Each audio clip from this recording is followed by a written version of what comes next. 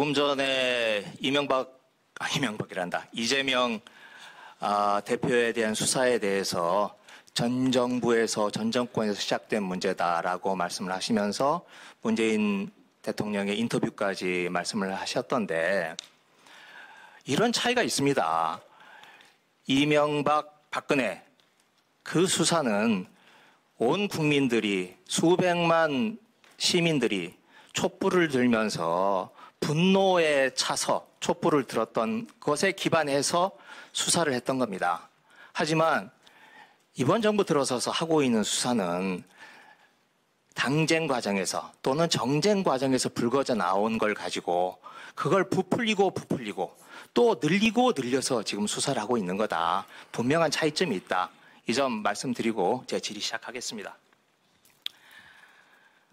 이정섭 수원지검 차장과 관련된 문제입니다. 지금 중앙지검에 배당을 했던데 아, 이 사안 총장님께서 보고를 받고 어, 무겁게 받아들였다라고 제가 이야기를 듣고 있는데 에, 총장님 생각 좀 간단하게 좀 듣고 싶습니다.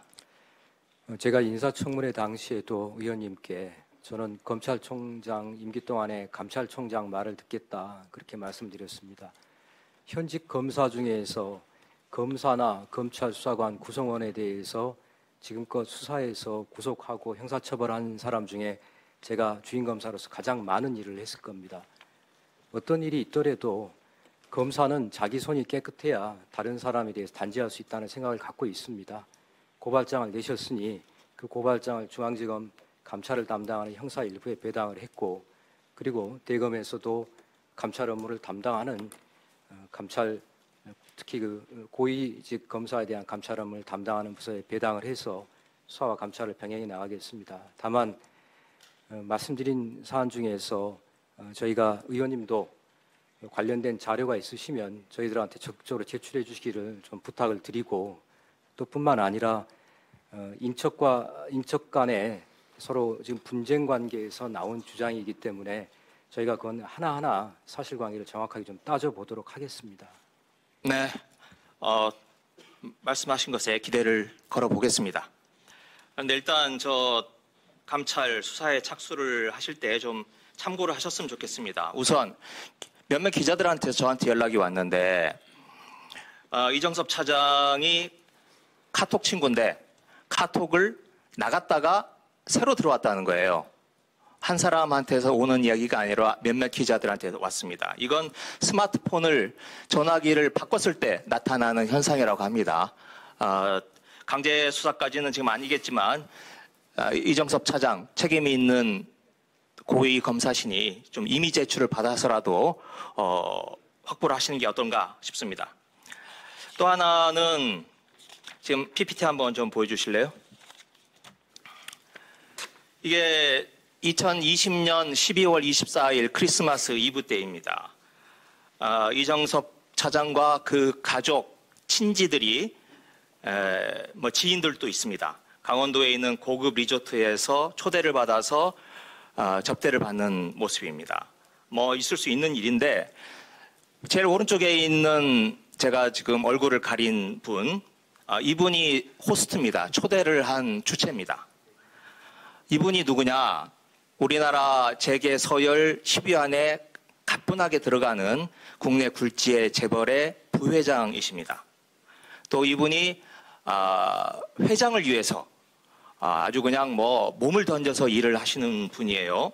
그래서 어, 이 회장님이 뭐 사고를 쳤을 때 이분이 몸을 던져서 해결을 하시고 그래서 징역도 살고 나오신 분입니다.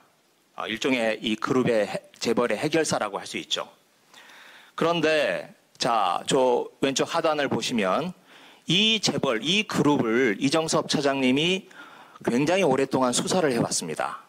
2015년부터 거의 매년 해왔어요. 3조 원대 LNG 담합건설사 수사도 해왔고 그룹 소유주 일가의 폭행 사건도 수사를 했습니다.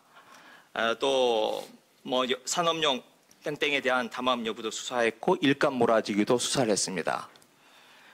자, 어, 과연 자기가 수사를 했던 그룹, 그 그룹의 핵심 인물, 로부터 저렇게 대접을 받는 게 이게 적절한 관계인가 아, 의문이 들지 않을 수 없고요. 어, 이 부분에 대해서도 총장님께서 살펴주시기 바랍니다. 저 아. 의원님, 저 지금 나온 어, 사람들이 지금 친족 간의 연말 모임을 하는 겁니까? 가족 간의 모임을 사진을 찍어 놓은 겁니까? 아마 친인척 간에 지금 갈등 관계에 있고 분쟁이 있다고 하면 거기서 나온 자료일 것 같은데 그 친족 간의 가족 간의 사적인 모임 혹시 아닙니까? 사적인 모임이든 야든 저 누가 호스트가 돼서 누가 저 음식값과 숙박비를 냈느냐 이게 중요한 거 아니겠어요? 제가 조금 이따 좀 답변을 더 네, 드리도록 네. 하겠습니다. 네. 다음 한번 봐주시죠. 네, 어, 이때가 코로나가 한참 기승을 부릴 때입니다. 그래서 5인 이상 식당 예약 안 되고요. 어, 일절 모임 파티 장소로 활용될 수 없고, 그 다음에 특히 스키장 완전히 폐쇄가 되어 있었을 때입니다. 그런데 이날 이정섭 차장의 가족은 저렇게 스키장을 완전히 에, 독채로 전세를 내서 크리스마스 이브를 즐겼습니다.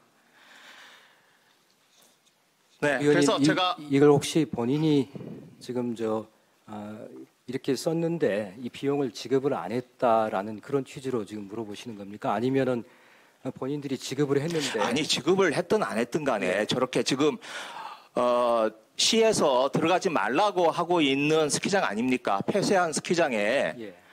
네, 나중에 조금 더 말씀하세요. 자, 우선 이정수 차장 업무 배제 안 하십니까? 지금 저는 오늘 지금 처음 본 내용이지 않습니까? 이 내용을 보고 제가 업무 배제에 대해서 바로 판단 내릴 수는 없지 않겠습니까? 지금 뭐 이재명 대표도 제- 대표지만 지금 쌍방울 기업 비리도 조사하고 있지 않습니까? 주가 조작 문제 등. 그러면 지금 조사를 받고 있는 쌍방울 관련자들이 이런 상황에서 자기들이 수사를 받을 때 얼마나 공정하게 또 어, 대- 수사를 받고 있다 하고 수긍을 하겠습니까? 저는 그래서 네, 정리하시죠. 이 부분에 대해서도